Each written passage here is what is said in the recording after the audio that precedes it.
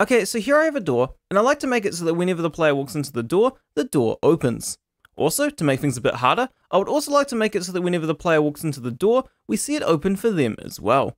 So here's how I go about doing so. Now to start off with, the first thing I'm going to do, now to start off with, now to start off with, we're first going to make the, now to start off with,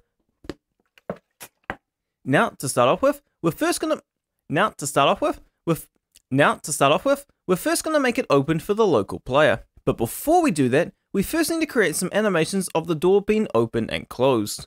So first we want to so first we need to bring up the animation tab. So first so first we need to bring up the animation tab. I'm just going to come up to the um I'm just going to come up to the top of my Unity window and go window animation animation or control 6 for the shortcut and I'm going to drag and drop this window and I'm going to and I'm going to drag and drop this window down to my and I'm going to drag and drop this window down to my project window. Then then then I'm going to select my parent. Then I'm going to select my parent object. Then I'm going to select the parent object of my doors. I'm going to go over to the animation tab and hit create. Mm. Then I'm going to select my parent game. Then I'm going to select the parent object of my doors. Then I'm going to select the parent of the then I'm going to select the parent object of my doors. I'm going to come down to the animation tab and hit create. Now we need a name for this animation and I'm going to call this door open. With the animation made, we'll see that it also created an animator on our parent game object. With the animation with the animation name, with the animation made, with the animation made, we'll also see it create an animator on our parent game object. Anyways, anyways, now I'm going to hit the Anyways, now I'm going to hit the record button on my animation tab. Anyways, now I'm going to hit the record button on my animation tab, select one of my doors, and move it while holding control to snap its location. And then I'm going to do the same for the other door. Coming down to the animation tab, I'm then going to move the header one frame forward. Coming into the animation tab, I'm going to move the header one frame forward. Coming, coming down to the animation tab, coming down to the animation tab, I'm going to move the header one. coming down, coming down to the animation tab, I'm going to move the header one frame forward. I'm going to grab these two nodes and go Control C, Control V to create an animation of one step. I'm going to grab these two. I'm going to grab these two nodes and I'm going to grab these two nodes and go Control C, Control V to create an animation of one step. As far as I'm aware, if you don't do this, it will by default create an animation of one second long instead of just being one frame. So, as far as I'm aware, if you don't do this, it will by default create an animation of one second long instead of just being one frame. So, with our first animation done, we now need to create our closed animation. So I'm going to hit this drop down menu and hit create new animation and I'm going to call this one, and I'm going to call this new one, mm, so, so, so I'm going to hit this drop down menu and hit create new animation, and I'm going to call this new one door closed. So I'm going to hit this drop down menu and hit create new animation, and I'm going to call this new one door closed. Hitting the record button again for this animation, I'm just going to give it Hitting the record button again for this animation, I'm just going to give each door a little wiggle while holding control to record where it is to record where the door is by default. Then coming to its nodes again. Then coming to its nodes again, I'm going to hit Control C, Control V again, and now we'll have our animations, and now we'll have our animations of the door being opened and closed. I'm just going to, then coming to its nodes again, I'm going to hit Control C, Control V again, and now we have our animations of the door being opened and closed. I just want to, I just want to stop recording. I'm going to come back to the project window. I'm going to select our animations that we've created one by one. I'm going to select that. I'm going to select the animations we've created one by one and come up to, I'm going to select the animations that we've created one by one and come up here and disable loop time so the animations don't loop. Now that we have our animations sorted, now that we have our animations sorted, we need to say when we want them to play. Now that we have our animations sorted, we need to say when we want them to play. So we first want to come up, so we just want to come to our parent game object and double click the animator to open it. Now that we're in the animator, we can see our two, now that we're in the animator, we can see our two animations. Before we change anything here, however, we first want to come up to the Parameters tab and hit the plus button and create a bool. Before we change anything, however, we first want to come up to the Parameters tab and hit this plus button to create a bool. Before we change anything, however, we first want to come up to our Parameters tab and hit this plus button and we want to create a bool. I'm going to call this bool is open. Then I'm going to come into our graph. Then I'm going to come into our graph And as we want the door to be closed by default, I'm going to select my door closed animation and I'm going to right click and select set layer as default state. And and as we want the door to be closed by default, I'm going to come up to my door closed animation and I'm going to right click and select set layer as default state. I'm then going to right click the animation and select make transition and I'm going to make a transition from door closed to door open and then just and then do the same the other way. Then I'm going to select one of my then I'm going to select one of my transitions and then I'm going to select one of then I'm going to select one of my transitions and in the inspector we want to change a couple of settings. So I want to so I want to hit the drop down menu and in the settings tab we want to disable has exit time because we don't want any delay before the animation is played.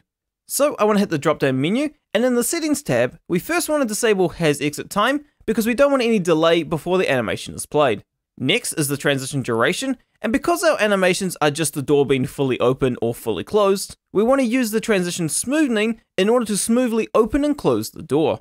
The value shown here the value shown here will say how long the door will take to open. The value shown here will the value shown here will say how long the door will take to open, and in my case, the default value of 0.25 looks good. But feel free to change this but feel free to change this value to change the speed of the door. But feel free to change this value just to but feel free to change this value but feel free to change this value to change the speed of the door. Then for then for interruption source, we want to select next state, and this will just mean that the animations and this will just mean that the animation can be interrupted, so the door doesn't have to fully open before it can close again. Now we just want to now we just want to select what trans now we just want to say now we just say when we want this transition to play. So I'm going to come down to condition now we can say when we want this transition to play, so I'm just going to come down to conditions and hit this little plus button to create a condition. To create a condition. Now the default is actually what we want here, but to explain, we want it so that whenever the parameter is open equals true, we want it to play this transition, transition from door closed to door open. Now the default value now the default is actually what we want here. Now the default values are actually what we want here, but to explain, we want it so that whenever the parameter is we want it so that whenever the parameter is open equals true, we want it to play this transition, transitioning from door closed to door open. So now, so now we just want to select, so now I, cool, cool. So now we just want to select our, uh, cool. So now we just want to select my other transition and give it the same settings, but for its condition, but for its condition, I want to set it, cool. So now, cool. So now I just want to select my other transitions and give it the same settings, but for its condition, I want to make it I want to make it so that it only transitions. I want to set it so that it only transitions. I want to set it so that I want to set it so it only transitions when is open equals false. I want it to transit. I want to. I want to set it so it only transitions when is open equals false. So now in summary, when the game be awesome.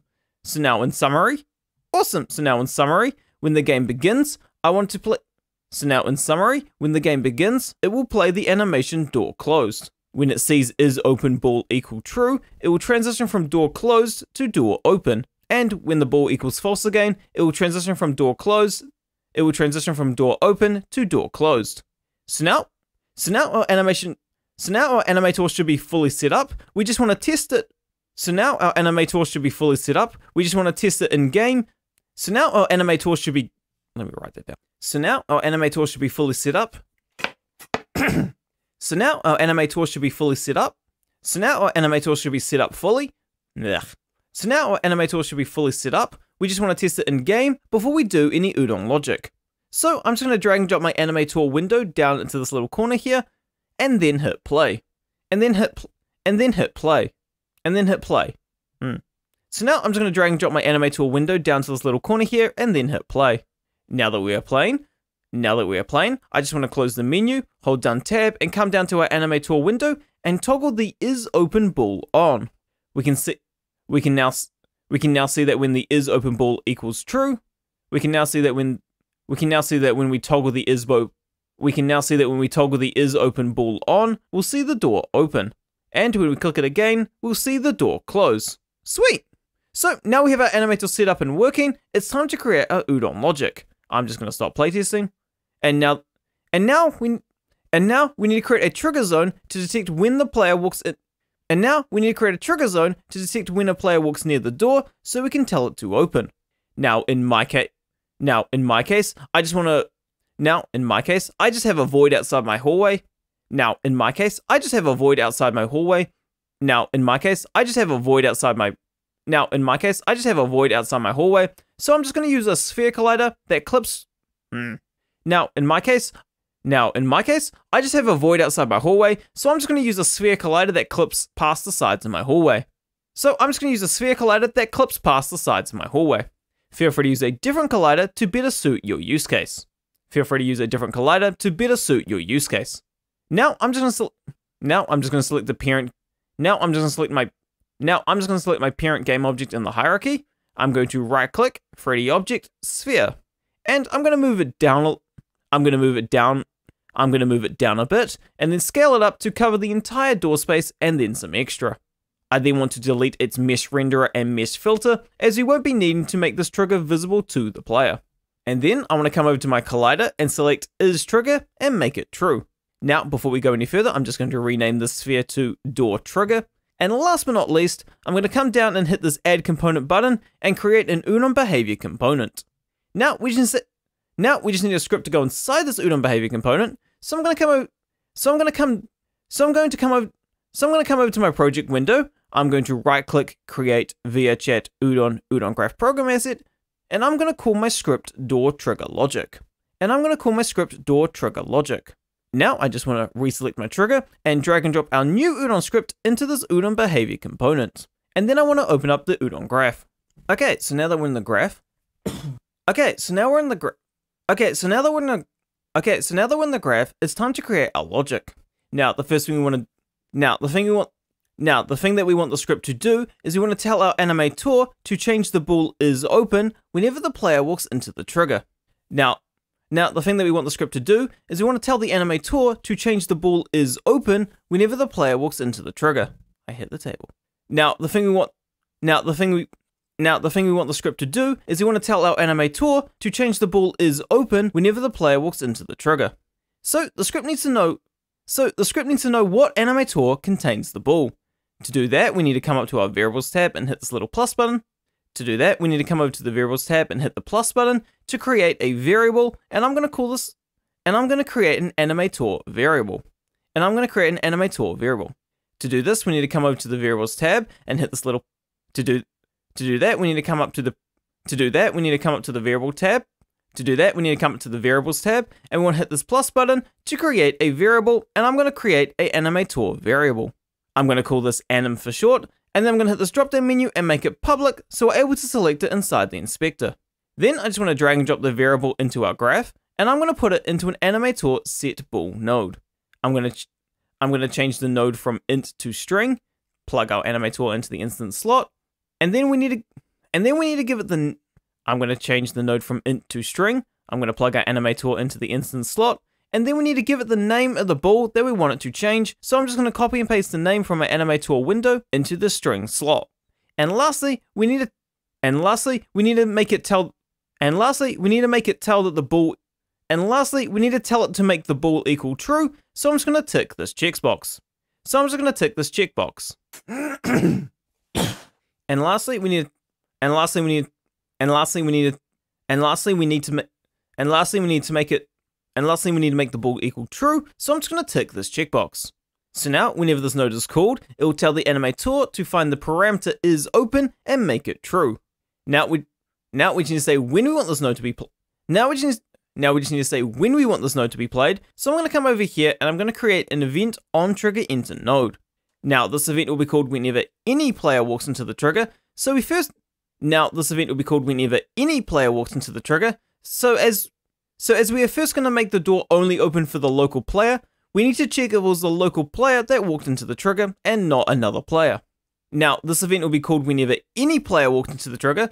So we're first going to make the now this event will be called whenever any player walked into the trigger. So as we're first going to make this now, this event will be called whenever any player walks into the trigger, so as we're first going to make the door only open for the local player, nah. So as we're first going to make the door only open for the local player, we need to check if the we need to check if it was the local player that walked into the trigger and not another player. To do so, I'm going to grab this player API and I'm going to put it into a player API is local node. And then we need to create a branch node by holding down B and right clicking, and then link it all up. Now, if we grab the true arrow and plug that into our animator set bool node, now whenever a player walks into the trigger, it will check to see whether or not that player is the local player, and if it is the local player, it will play the animator set bool node, making our is open bool equal true. Now we just want to now we just want to do the same for now we just want to do the same for the event on player trigger exit, but we want to untick the value on our animator set bool node to make the bool equal false instead. Awesome, so that's all the logic that we need for now. Awesome, so that's all the logic that we need for now. I'm just gonna hit I'm just gonna hit compile and come back into our scene view. Then coming back into our Udon behavior component, we need to tell our animator. Hmm. Then coming back into our then coming back into our Udon then coming back to our Udon behavior component, we need to tell it our animator. So I'm just going to drag and drop my parent game object that contains our animator into the slot. So I'm just going to drag and drop my parent game object that contains the animator into the slot. And now it's time to playtest. So I'm just going to hit play. And now that we're in the world, we can see that whenever the player walks into the door, the door opens. And when we walk out of the trigger, the door closes. We can also spam this, and we can see that we can also spam this, and we can see that we can also spam this, and we can see that it behaves totally fine. Awesome! Okay, so this logic works perfectly fine, but if we wanted to make the... Okay, so this logic works perfectly fine, Okay, so this logic works perfectly fine, but what if we wanted the door to open for all players and not just the local player? Well, that's where the code gets a little bit more complicated in order to deal with some edge cases. Well, that's where the code Well, that's where our code gets a little bit more complicated in order to deal with some Well, that's where our code gets a little bit more complicated in order to deal with some edge cases. So, first of all, we just want to come back So, first of all, we just want to come back into our graph. So, first of all, we just want to come back into our graph. And the first and obvious change that we want to do is we just, and the first and obvious change that we just want to do, and the first and obvious change that we want to do is we just want to get rid of this player API is local check and plug our on player trigger enter node directly into our animator set bool node. So now, whenever any player walks into the trigger, it will open the door, and when any player walks out of the trigger, it will close the door. However, while this would work if only one However, while this would work if there was only ever one player in the door at any given time, the script really falls apart when there are multiple players. If I was to play if I was to playtest this with multiple players, if I was to play playtest this with multiple players, we can see that when one player walks into the trigger, it opens the door for both players. If they exit the door, it will close. However, if a second player walks into the trigger, we can see that it also looks fine, but when one of those players walks out of the trigger, we see the door closes, despite one player still being in the trigger. Despite one player still being in the trigger zone. This is because we are not checking how many players are inside the trigger zone. Hmm. This is because we're not checking how many players are still inside the trigger. This is because we're not. this is because we're not checking how many players are still inside the trigger. So when one so in one trigger, so in one play, hmm. This is because we're not checking. This is because we're not checking how many players are still inside the trigger zone. So when one player leave, this is because this is because we're not checking how many players are inside the trigger, so when one player leaves, it plays the event on player trigger exit, closing the door, closing the door for both players. This the solution to the solution to this the solution to this is to count how many players are still inside the trigger, and only if there are no players inside the trigger will we close the door. Okay, okay, so just come back into okay, so we can just come back into our graph to do this, we'll need to create an int variable to keep track of how many players inside the trigger. I'm going to come up to our variable I'm going to come up to our variables tab and hit this plus button and create an int variable. I'm going to call this counter. Hmm, I'm just going to call this counter. We don't need uh, we don't need to make this public or anything, so we can just grab our counter variable and plug that into an int. we don't need to make this public or anything, so we can just grab our counter variable and plug it into an int addition node. We're gonna we're to tell it to add 1 to our counter variable. We're to tell it to add 1 to our counter variable. We're to tell it to add 1 to our counter variable.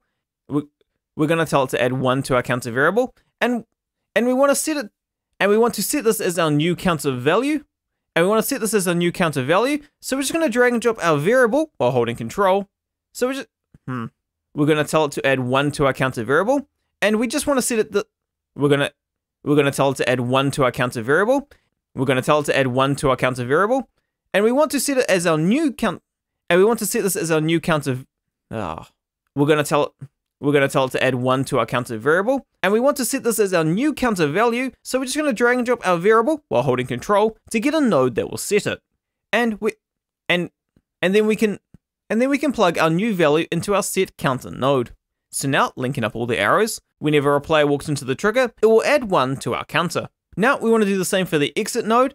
Now, now we want to do now we want to do the same for the exit node, but get it to but get it to subtract 1 from our counter.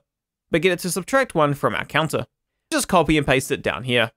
In this case, I'm just going to add negative 1 to it instead of creating an int subtraction node, but feel free to create that node. But feel free to create that node if you feel like it. Now something that now something we need to add to our on trigger exit event. now now something we need to add to our on now something now something we need to add now something we need to add to our on now something we need to add to our on trigger exit now something we need to add to our on trigger exit event is that we need to check to see whether or not the counter equals zero. If the counter equals zero, if the counter equals if the counter equals zero, we'll know that if the counter equals zero, if the counter equals zero, we'll know that there if the counter equals zero, we'll know that there's no longer any players inside the trigger zone, and so we can safely play the animator set bool node to turn off the bool and close the door. If the counter equals if the counter equals zero, we'll know that there's no longer any players inside the trigger, and we can safely and we can safely play the animator set bool node to turn off the bool and close the door. So I just want to create so I just want to create a branch node while holding B and left clicking, and so I so I just want to create another branch node by holding B and left clicking, and as this branch node requires the bool value to work, I'm going to create an int greater than node and plug that and plug that in.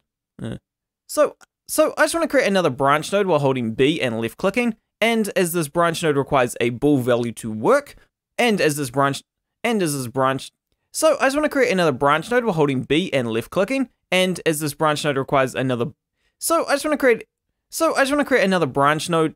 So I just want to create another branch node while holding B and left clicking. And as this branch node requires a bool value to work, I'm going to create an int greater than node and plug that in.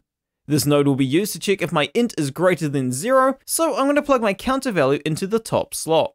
If it is, um, if it is not greater than zero, then we, if it is not greater than zero, then we want to close our door. So I'm going to take my so I'm going to take the arrow from the false and plug that into my animator set bool node. If the value is if the value is greater than 0, we don't want to do any if the value is greater than 0, we don't want to do anything, so we can just leave the so we can just leave the true arrow blank. If the value is greater than 0, we don't want it to do anything, so we can just leave the true arrow blank. And so now, whenever the player walks into the trigger, it will add 1 to our counter variable before telling the door to open. If a second if a second player walks into the trigger, it will also add one to the value. It will also add one to the value, and it will tell the bool to be false a second time, but that doesn't matter. If a second player walks into the trigger, it will add 1 to the value, and it will update the bool value a second time, but that doesn't matter. Then, when a player leaves the trigger, it will minus 1 from our counter int, and then check if that counter is less than 0. And then check if that counter is less than 0. If it is less than 0, and if it is, and only if it is, will it then play the set bool node and close the door. Awesome! And so now if I was to playtest this, we can see that when one so now if I was to playtest this, we can see that when one player walks into the trigger, it opens the door, and when a second player walks into the trigger, the door stays open. When one of those players walks out of the trigger, the door stays open, and only if the other player walks out does the door then close. Awesome! However, while this works for most cases, there is still another problem. If a player was to walk into the trigger and then leave the game while inside the trigger, we can see that the door remains open despite the player no longer being in the trigger. Also, if the remaining player was to walk in and out of the trigger, it does not fix itself. This is because this is because when the player disconnected from VR chat, they never played the event. This is because when the player disconnected from VR chat, they never played the event on player trigger exit, and so the counter and so and so the counter had one added to it but never subtracted from it. Now this also now this also used to happen whenever a player respawned, but from my more recent testing now this also used to happen when a player respawned, but my more recent testing shows that this no longer seems to be a problem. Either way, this isn't ideal, so how can we make it so whenever a player leaves the game, it doesn't leave the door open? Well, to do so, well, to do so, we need to check to see how many players are inside the trigger when a player leaves the game. Well, to do so, we need to check to see how many players are inside the trigger when a player leaves the game. Well, to do so, we need to check to see how many players are inside the trigger when a player leaves the game. Now, now this is where it gets a little bit more complicated, but stick with me here. Okay, so okay, so we first want to come back into our graph, and the first thing we want to do is we want to Okay, so we just want to come back into our graph, and the first thing we want to do is just full screen our graph with the shortcut Shift Spacebar. Okay, so okay, so we okay, so we want to come back into our graph, and the first thing I'm going to do is just full screen our graph with the shortcut Shift Spacebar. Now I just want to simplify it. Now I just want to simplify some of our code. Now I just want to simplify some of our code as we'll make things a little easier later on. Now I just want to simplify some of our now I just want to simplify some of our code to make things a little easier later on. Duh. I just want to make I just want to make this part of the I just want to take this I just want to take this part of the Oh, okay. I just want to make this part of the graph where we toggle on and off the bool and make that into a custom event. I just want to take this part of the graph where we toggle on and off the bool and make that into a custom event. So I'm just going to come over here and create an event custom node and I'm going to call this and I'm going to call this check door status. And then when I grab our animate and then I want to grab my animate tools and then and then I just want to grab my animator set bool node and plug that in. Then for its value, I'm simply going to grab our int greater than node and our counter variable and plug that directly in. So now whenever this event is called, it will tell our animator to be true if the counter is greater than zero and false if the counter is less.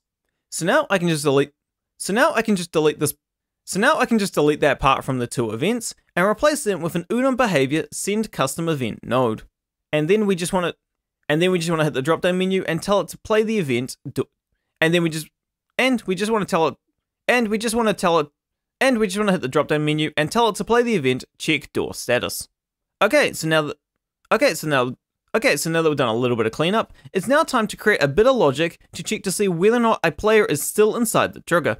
We want this event to play whenever a we want this we want this we want this event to play whenever a player leaves. We want this event to play whenever a player leaves. We want this event to play whenever a player leaves the game. So we're just going to create an event on player left node. Whenever this event is called, whenever this event is whenever this event is called, I want it to reset our counter value. Whenever this event is called, I want it to reset our counter value. So I'm going to grab our set counter variable and I'm going to create an int constant node and create whenever this event is called, I want it to reset our counter value. So I'm just going to grab our set counter variable and I cr and create an int constant node, set it to zero, and plug that into our set counter variable. So now whenever this node is played, it will set our int to be zero. Now that the int is zero, now the now that the int is zero, now that the int is zero, the way I'm going to recalibrate this counter is I'm going to disable the collider is I'm going to disable the collider on this object, wait one physics frame, and then re-enable the collider. Then if there was any players, then if there are any players still inside the trigger, then if there are any players still inside the trigger, it will play the event on player trigger enter and open.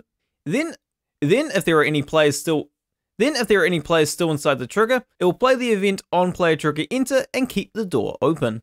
Now, something to be aware of for those of you trying to adapt this script. Now, something for, now something for you, now something to be aware of for those trying to adapt this script is that using the event on player trigger Now, some now something to be aware of for those trying to adapt this script later on is that if you use the event now something you got now something to be aware of for those of you trying to adapt the script is that using the event on player trigger enter works differently from the non VRChat event on trigger enter. With the Unity on trigger enter, the event won't be called the event won't be called with the Unity on trigger in with the Unity on trigger enter, the event won't be called if the collider is re-enabled while the object is inside of it. it will only be it will only be called it will only be called when the ob it will only be called when the object enters the collider, not if it's suddenly inside of it. To do that, you would need to use a much more expensive event on trigger stay with a great deal of caution. However, today we are using the VRChat event However, today we're using the VRChat event on player trigger in that's wrong with the doc. However, today we're using the However, today we're using the VRChat event on player trigger enter, and that does get called if a player is However, today we're using the VRChat event on player trigger enter, and that does get called if the player is found to be suddenly inside the trigger. This threw me off at first, so I thought I'd better clarify here. This threw me off at first, so I thought I'd better clarify here. Okay, okay, so now we need to turn off our collider. Okay, so now we need to turn off the collider that's on this object. So to do this, To do this, we want to use a collider set enable node, and we're going to call to do this, to do this, to do this, we want to use a collider set enable node, and we're going to set and we're going to set our collider to be false. However, we need to say what collider we want to turn off. However, we need to say what collider we want to turn off, and instead of creating a variable up here, and instead of creating a however, we need to say what collider we want to turn off, and instead of creating a variable up here to get the collider, I'm still going to use the node, I'm still going to use a I'm instead going to use a game object get component node. I'm going to change it from type I'm going to change it from string to type, and then I'm going to create a type collider node and plug that in, and then grab the resulting component and plug that into a collider set enable node. So now, whenever this event is called, it will come. So now, whenever this, so now whenever this node is called, it will come down here and grab this game object. It will come down here and grab this game. It will come down here and grab this game object, and we'll look to see, and we'll look to see if we can find a collider component on it, and then disable it. So now that we've turned off our collider, we need to wait. So now that we've turned off our collider, we need to wait a physics frame before we re-enable it. So now that we've turned off our collider, so now that we've turned off our collider, we need to wait a physics frame before we re-enable it. Now, the easiest way of doing now the easiest way of doing a delay in Udon is to use a del now the easiest way to do a delay in Udon now the easiest way to now the easiest way of doing a delay in Udon is to use a delay now the easiest way of doing a delay in Udon is to use a delayed custom event. So I'm just going to use the so I'm just going to use the node Udon behavior send custom event delayed by seconds. This node will wait a couple of seconds before this node will wait a couple of seconds before telling a custom event to play. Now, you may be wondering why I didn't use an Udon behavior send custom event delayed frames node, but that is because now you may be wondering why I didn't use an Udon behavior send custom event delayed frames node, but that is because that node can only delay the event by either update or late update. Now, you may be wondering why I didn't use an Udon behavior send custom event delayed frames node, but that is because that node can only delay the event by either update or late update. Now, you may be wondering why I didn't use an Udon behavior send custom event delayed frames node, but that is because that node can only delay the event by either update or late update. Well, we want to wait a single physics frame. We want to wait for a single physics frame to happen, so we want to use the we want we want to wait for a single physics frame to happen, so we want to use fixed update, but that just isn't an option. Luckily for us, however, luckily Luckily for us, however, luckily for us, however, it isn't a problem to wait a couple more frames, so we can. Luckily for. Luckily for us, however, it isn't a problem to wait a couple more frames, so we can just use a send custom event delayed seconds node, and I'm just going to delay it by 0.1 seconds. Luckily for us, luckily for us, however, it isn't a problem to wait a couple more frames, so we can just use so we can just use a send custom event delayed seconds node, and I'm going to delay it by 0.1 seconds that is ample that is ample enough that is ample enough time that is ample enough time for a physics frame to happen, but fast enough that the player will never know that the door wasn't doing anything during that time. That is ample enough that is ample enough time for a physics frame to happen, but it's fast enough that the player will never know that the door wasn't doing anything during that time. Now we now we need to create now we need to create an event for this node to now we need to create an event for this node to call, I'm going to create another event custom node, and I'm going to call this re-enable collider. I'm going to grab our logic and turn off the collider, and I'm going to grab our logic to I'm going to grab our logic to turn off the collider and copy that for this event, but get it to instead turn off our collider. But instead get it to turn on our collider. Then I want to come back to our Udon behavior send custom event delayed seconds node and get it to play the event re-enable collider.